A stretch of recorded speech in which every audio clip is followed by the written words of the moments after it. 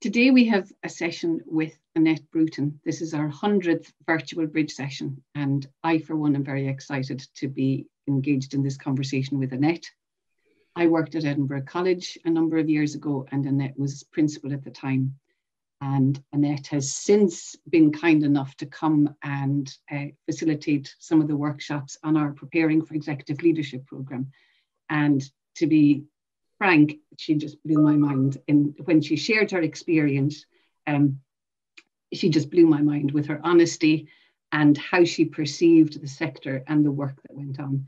So, really looking forward to this session. Annette is, uh, as I mentioned, Annette Bruton is the retired principal of Edinburgh College. She is also now a fellow with CDN and she's on the board of SRUC. So you're very welcome, Annette.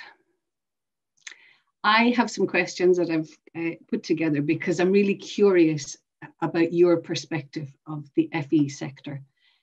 And I know that you were a leader in mainly in the public sector for you had a number of different leadership roles in the public sector. And then in 2015, you took on the role of principal at Edinburgh College. And I'm really curious as to what drew you to leadership within the FE sector. Well, thanks very much, Valerie. And can I say, first of all, I'm really pleased to be here. I was trying to think of, knowing you well, I was trying to think of what your motivation was for asking me to do the 100th session. And I wondered if maybe it was the person nearest to age 100 that you actually knew who was still prepared to come online and speak. So, um, however, I guess that would be David Attenborough. So, anyway, I'm really delighted to be here and very happy to talk openly and uh, both formally and informally about my experience in the FE sector. Um, yes, you're right. I had a lot of jobs in the public sector before I came to Edinburgh College. And my mother, bless her, when I would tell her that I'd got this new job, being very pleased with myself that I got another promotion, would bring me down to earth by saying, "Well, can you not just hold on to the job you've got?" And um, so that that was interesting because that was a different perspective on how often you should uh, move around. But I've worked uh, for 20 years really in frontline classroom teaching in high schools. Um, I've been an inspector of education. Uh, I've been a chief inspector of education. I ran the education authority at um, Aberdeen, uh, Aberdeen Education, Culture and Sport Department. Um, and just before I joined Edinburgh College, I was the chief executive at the Care Inspectorate. So all of my experience was really around education, and um, and part of that when I was in the Inspector of Education was about developing a child protection system in Edinburgh. So hence the care background. So what drew me to um, Edinburgh College? Well, um, I started my teaching career in and around, well, started in Dundee, but very quickly uh, worked in and around the Lothian area where I was born and grew up. I'm an East Lothian uh, lass. And when the job at Edinburgh College came up, not only was I excited about the prospect of a move to a part of the education sector I'd never been in, I'd had a really good experience of working with FE colleges when I was in Aberdeen City Council. Um, but also, change was afoot in, um, in the college sector some good, some not so good actually. Some of legacies we're still dealing with at this moment, which have been quite difficult. But it seemed to me as I came to probably the last formal chapter of my teaching life, I was really excited to take on a new challenge. Edinburgh College, like many other colleges in Scotland, was dealing with some of the difficulties of merger. And I'd done a couple of mergers in my previous career, and I'd learned quite a lot about how mergers can be handled. Um, but also, um, I reckon that the students at Edinburgh College, the 17, 18,000 of them that there were when I joined, probably between myself and my husband, we'd probably taught most of their mothers and grandmothers uh, over the years. So it seemed to me like a kind of full circle coming back to work in a part of the education sector I'd not worked in before, but also because I developed a tremendous respect for the life changing ability of further education and higher education colleges. And I know that sounds a bit cheesy, but actually, I think that's at the heart of everybody who's really passionate about college education because we tangibly see on a day to day basis the difference that makes for young people's lives. So that was really what motivated me to come to what was essentially a new sector for me.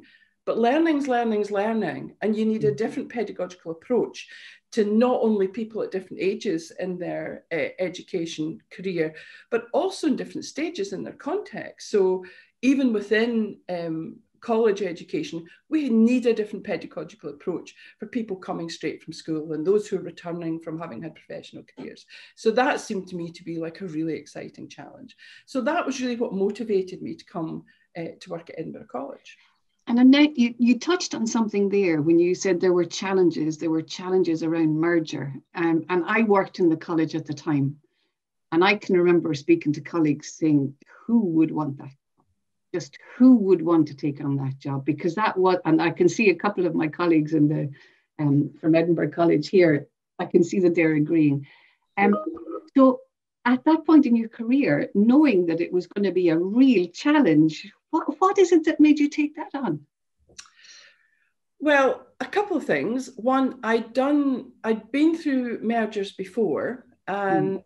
what I learned is that if you go in to an organization and understand and believe that 90% of the people who work there want to do the very best they can for the students, at least 90% of the time, that actually there are no insurmountable problems. There are wicked issues, there are things that get people upset, there are things that don't go well, there's risks to students' education in all of that. And not everything about the way that mergers were handled in Scotland were done effectively. I don't think there was enough pre planning. I don't think there was enough thought through of what the wicked issues would be. But actually, I've yet to meet an organisation where most of the staff come in to try to do a bad job. It doesn't exist, I don't think, in the public sector. So it seemed to me that if you start from the premise there's a lot of really good people who feel that really bad stuff's been done, then actually that's your starting point. And the other thing is, if you listen to what people are saying, you might not always agree with them, and that might not be the way you go, but you'll learn a huge amount about how not to repeat mistakes. And I suppose I also knew from previous experience that if you try to start something new and bring people together and you don't pay attention to the legacy, it's like creating grief for people. It's like saying everything you were before no longer matters everything you did before was wrong. So, in the first year in the job at Edinburgh College, I had a lot to do to get the finances back in order, but also I had a lot to do to try and unpick the, if you like, the binning of legacy that people fundamentally believed was not just part of their culture, but part of their own commitment to their, their teaching. And the the biggest challenge for me was to get to the root of what the problem was. So the stated problem was that the college was millions of pounds in the red, and that's factually correct. But that wasn't the cause of the problem. The cause of the problem was that we didn't recruit enough or the right kinds of students to solve the financial problem. So for me, taking on a job like that, which people call a poison chalice, mm-hmm. actually is all about understanding what's really going on and how to unlock the potential that of the staff who work there who feel they've been stifled. Now, that's a bumpy road because not everybody agrees on what the problems are. Not everybody agrees that my that my take on it is the right take. But when I began to see people coming forward with their own ideas in the college and coming forward in spades with brilliant ideas, I knew actually that we were beginning to, to shift forward and the grief was beginning to diminish a little bit. Oh, thank you. I've also heard you speak about people who don't agree with you and people who do agree with you and how important it is to listen to everybody yeah. really. Can I get you to just say a little bit around yeah, that? Yeah. But one of the things I learned in my career actually is I'm quite uh, I'm quite a poor listener. It's not that I don't listen to people, I don't hear what they have to say. It's I don't give them time to think. So I went on a course once um, that civil service um, sent me on um, to work with leaders from across the UK. One of the things I discovered on that course actually is that I jumped to I, am quite a quick decision maker. And what I tended, what I've tended to do in the past is exclude people who come two days later to say, I've been thinking about what you said and I don't think you're right. Um, just because I'm always in a rush to get somewhere. But actually, if you can really begin to hear the perspective of people who don't agree with you, that is twice as valuable as just listening to the echo chamber that you've created for yourself around the people who agree with you. It's far more comfortable to spend time with people who agree with you, and not everybody who disagrees with you is right. Sometimes they are very wrong.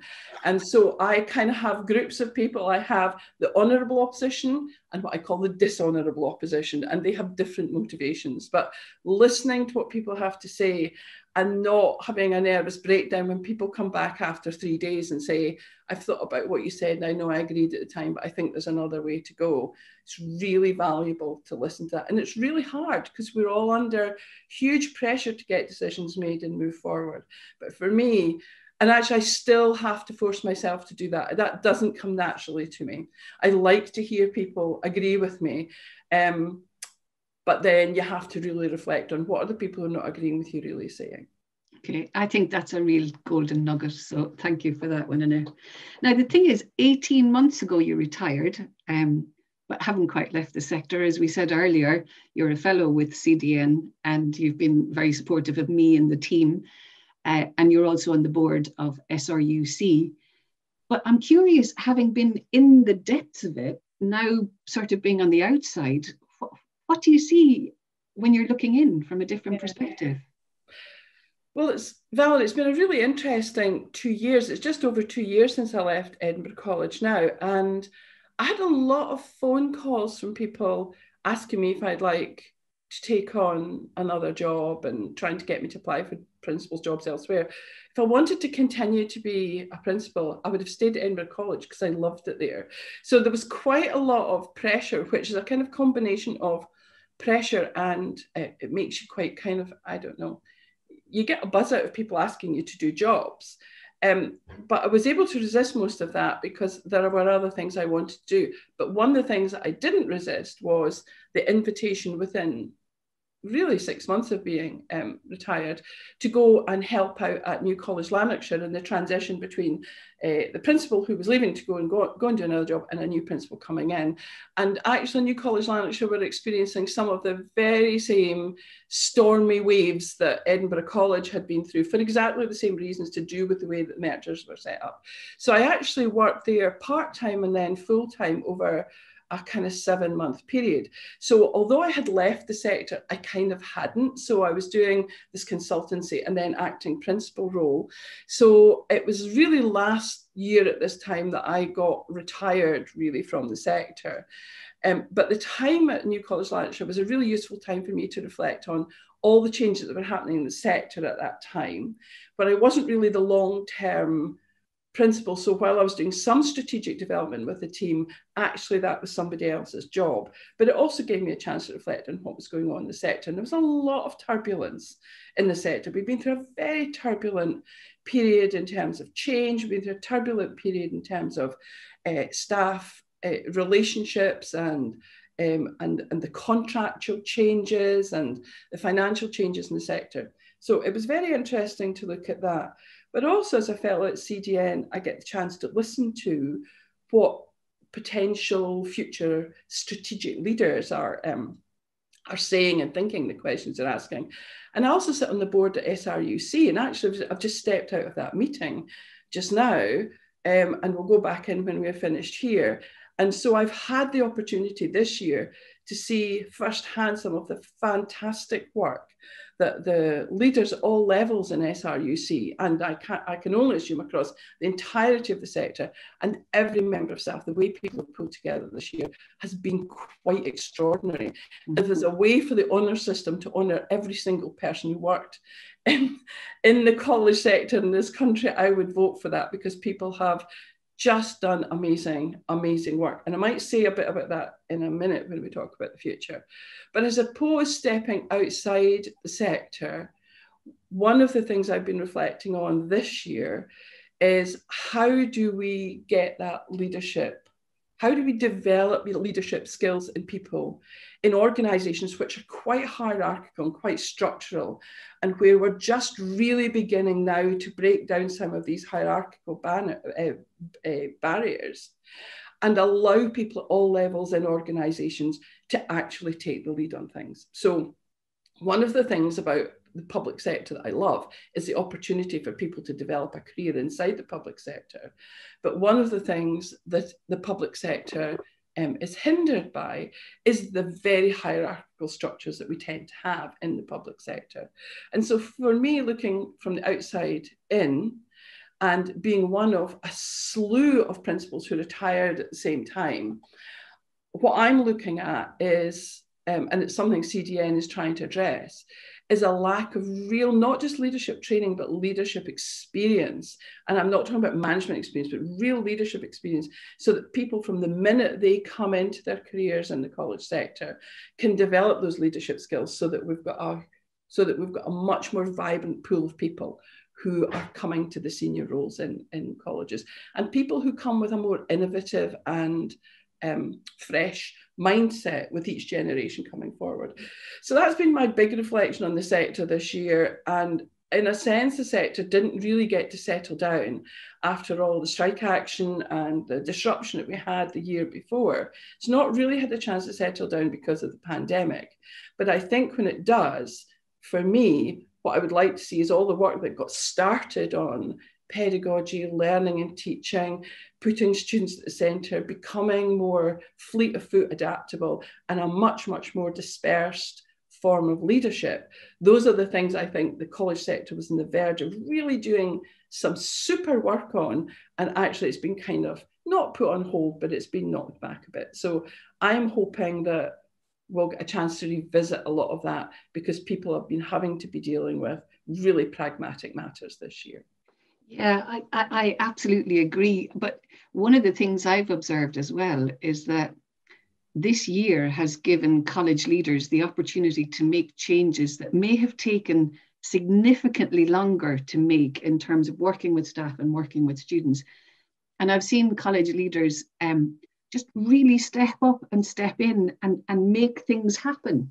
You know, for me, nothing has really slipped through the net. They've been working really hard, but there has been they have been much more agile and responsive. And in a way, a lot of, of the leaders that I'm working with now on, on some of the courses that we're doing, people are saying, actually, this has given us an opportunity to kind of shift and to move and to be able to, to, to step into that leadership role and to be able to encourage all staff to step into to leadership roles.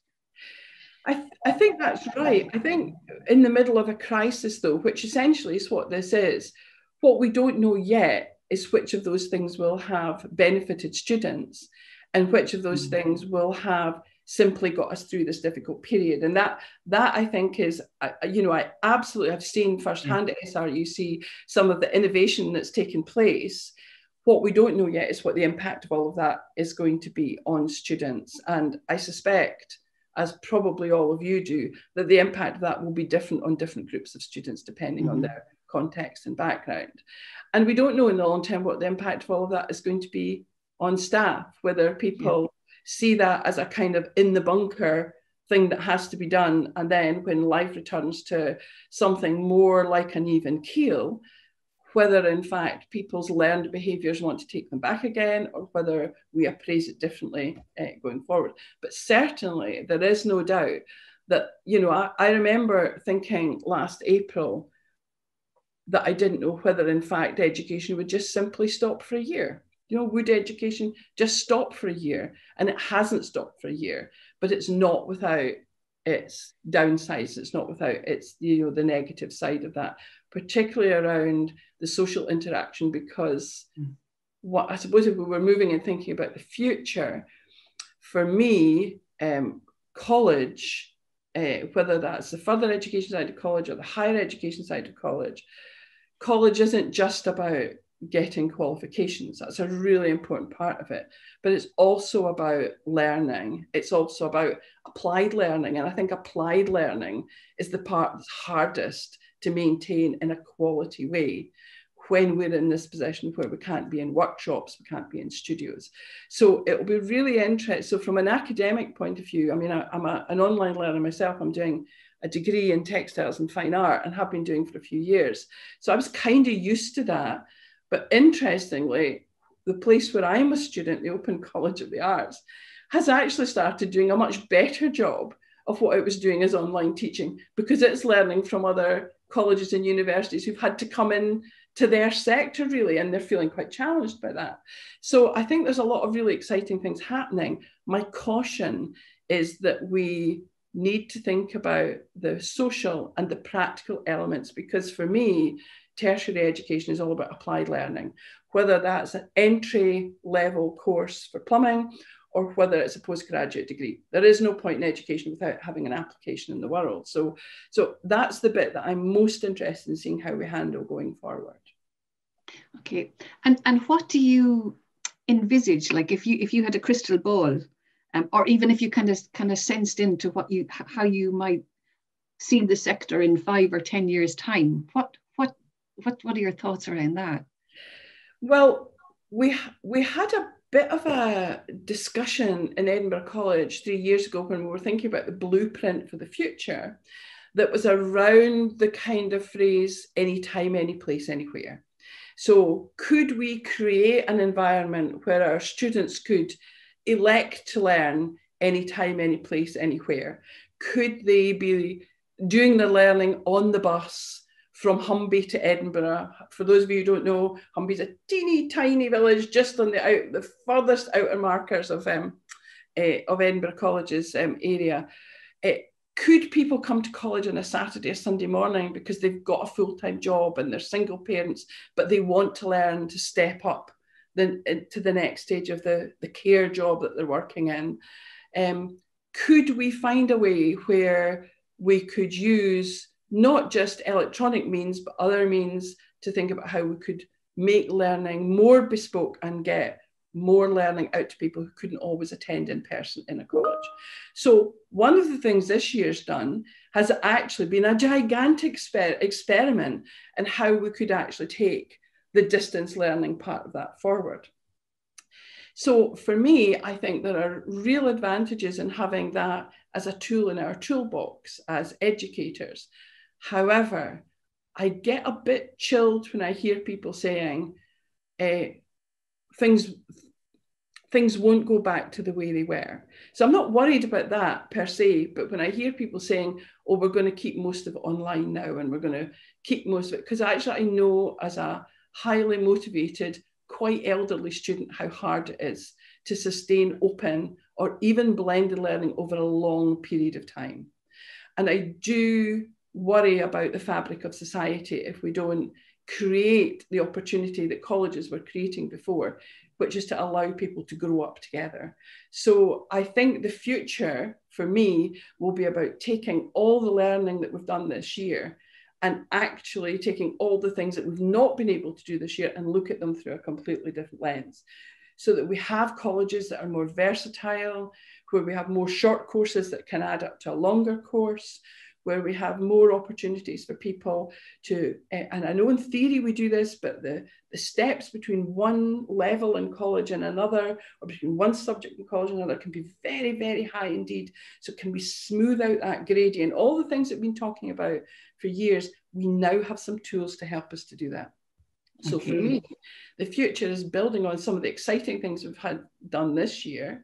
We also need to think about the pace for staff, for colleagues, because actually what we've done this year is unsustainable over time.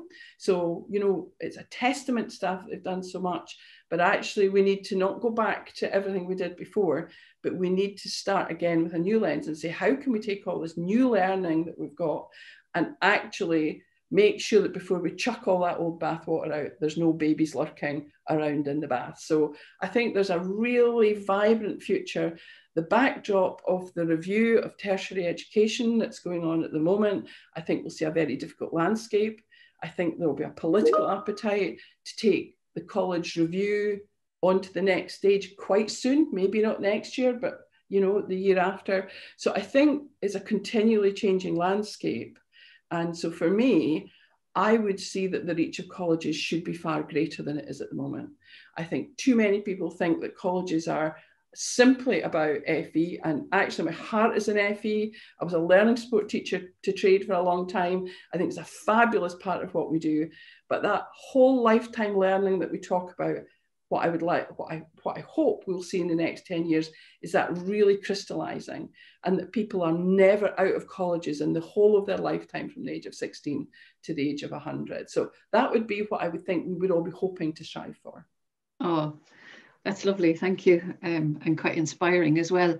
Now, we have a few minutes um, and there's been a couple of, of um, questions coming in, in the in the comment in the chat section, but I'd like to actually open it up and see if anybody wants to um, ask Annette directly, if anybody has a question that they'd like to ask. Uh,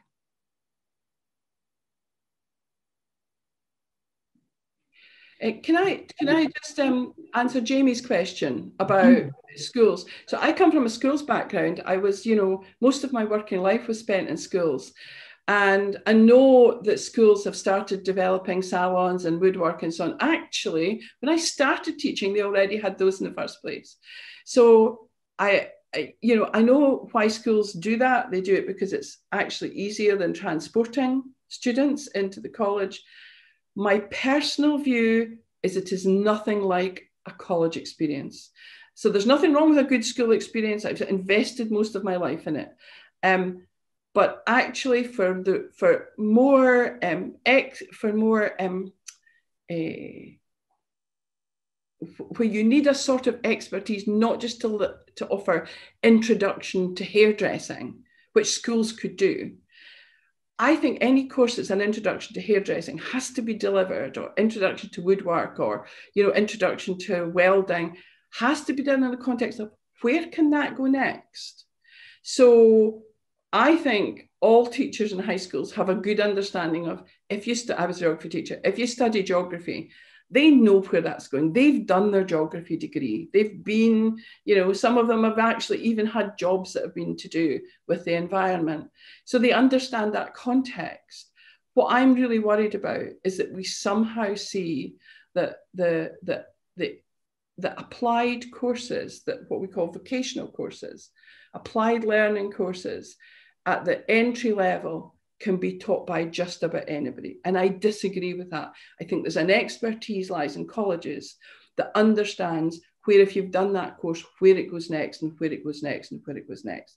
And, and really understands the industry's context. So there's a lot of school college partnerships stuff that's going on that really that I'm really proud of, stuff that I've initiated myself, but I'm a little bit worried about thinking that rather than think about solutions to bringing students together to do some of these applied learning courses that we stick a salon in a school and it's not really part of a coherent progressive journey. But maybe someday, maybe Jamie, you would disagree with me on that. No, that makes a lot of sense. Um, I worked at Borders College for a year um, amongst other places. And uh, there was definitely a kind of sense of community around the college. And Kenji and I have discussed this before about comparing it to Canada and things like that, and where people are invested in the, the college community, and it's uh, it's seen as um, as opening doors rather than just a kind of place you turn up. Um, is it often in the bigger cities or, or a, a, a, something that needs to be to, do, done, a kind of study that needs to be undertaken? So um, yeah, it's just it's, it's where that balance lies. Obviously, um, these PFI partnerships um, for the new schools are some are, are, are, woefully inadequate and some are a bit over the top. Of there's a school near where I live and it's got the they've built a they've converted a Portakabin outside into a restaurant, very much like the training dining rooms that you've got in um, obviously in, in colleges, and I just saw that was a bit of obviously replication. Um, but I know that a lot of the courses, excuse me, are delivered by college lecturers in, in the schools anyway. So as long as that kind of bridge. But it's just it's interesting that obviously if they, they, they see they associate that too much to school, my fear was that they would not, you know, they think that's something you do at school, you don't progress on any further. They more encouragement to leave school rather than to progress on. Yeah, I'm certainly very conflicted around all of that. And you know, I I've quite often been involved in that debate about, you know, students at the age of 15 or 16 can't get up in the morning and get on a bus to go to college or whatever well you know the real world's just around the corner and that's what they're going to have to do so so i mean i'm not discouraging links between schools and colleges i mean one of our fantastic staff at, edinburgh college volunteered in her own time to go and teach a higher um, a home economics class uh, um, well, really essentially food preparation class. Halfway through the year, when the member of staff left, Uh, teachers in that subject area are very thin on the ground in schools and they couldn't get a replacement teacher. And she offered to go and teach the class in the school for the whole of the rest of the session. And not only did the students do really well, they said they had an experience that was very different from anything they'd ever had before. So there's maybe some kind of merging of people that actually goes beyond, you know, I wouldn't like to be a, a, a head teacher who thinks that they can set up a hospitality school inside their school and then have their baking oven break down and need to spend £50,000 to repair it. So there are practical reasons as well, where if, you know, if you're doing what I would call, you know, entry level or kitchen sink science. There's all sorts of things you can do in any kind of environment. But one of the things that if that further and higher education colleges do that's second to none or should do is providing we get the funding from the government is keep up to date with industry standard and that would be extremely difficult for schools to do so i think it lies in the partnership and the exchange of people rather than really completely reinventing an infrastructure at local level. I do, however, though, thinking about any time, any place, anywhere, that there are elements of absolutely every single course that we can make more flexible and that students can study um, in their in their home, on the bus, you know, at a community centre. So colleges need to not be closing the door on the notion that we need to be more flexible and do more outreach and certainly not get into a bun fight or a territory fight with schools.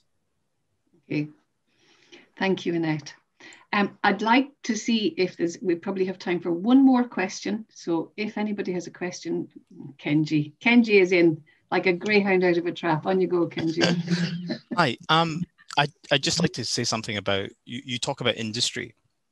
And I remember in the late 80s, industry was a key component of the educational experience. There was something that some people in the room might remember called sandwich courses. That that was the thing. And statistically, uh, in the university sector, one third of all courses that were offered offered a sandwich element. And in the space of three years, that drifted away to almost zero. And now we're in a time of apprenticeships and, and the key links of industry. How do you feel colleges could do more to keep up with the needs of industry, bearing in mind that we have generally assessment routines with awarding bodies that don't necessarily are not necessarily as flexible to keep up with the trends in the industry. How do we keep our staff current with everything that's going on in industry? How can we make sure we're keeping pace? Yeah. That's a really excellent question and um, it, for me, you know, graduate graduate courses, graduate apprenticeships, uh, all the apprenticeships in colleges go some way, I suppose, in that direction. They're a bit narrow, narrowly focused in my view, and it's not the same as actually being um, in employment. But the point about staff is you, you've touched on something there that I think is one of the aspects of college life that was one of the most variable aspects that I observed. So in Edinburgh College, for example, I could point to several departments, several individuals within departments whose work in relation to keeping their own industry skills up and actually influencing and helping industry to move forward were second to none, were outstanding, things that absolutely blew me away. And other places where staff not only resisted the notion of working directly with industry, but saw as some kind of challenge to what was already an established knowledge and skill set that they had. So the point, the question you're asking, the point you're making, Kenji, actually I think could unlock the key to the future of how colleges work. So I would like to see colleges at the forefront of doing um, research and development for industry. I would like to see people able to exchange jobs in industry and not just because you happen to know somebody who works in the local graphics company and you're a graphic designer and you can go for a year you can swap jobs, but really much, much more wholesale than that.